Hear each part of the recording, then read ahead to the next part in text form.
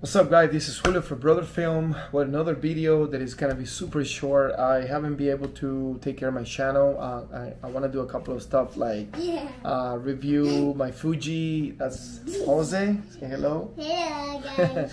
I wanna do my uh, review of my X100F Fuji. Uh, I got a use, doing super well with that Fuji colors. Yeah. I just opened um, an Instagram. I'm gonna put it here. It's uh, Fuji Tones. You can follow all my Fuji work. And another thing I want to review. It's my. I know it's not a new uh, lens, but I'm doing super well with 35 1.8 uh, lens full frame for my Sony cameras. It's really amazing for portrait.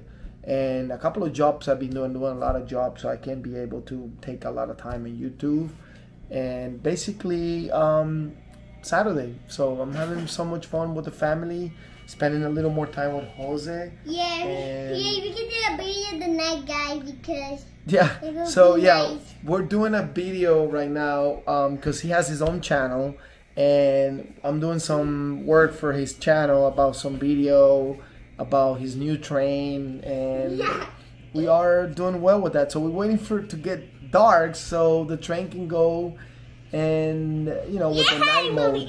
So it's gonna be super fun. All right, so going back to my channel, Brother Film. So stay tuned. All right, guys. Peace. Yeah.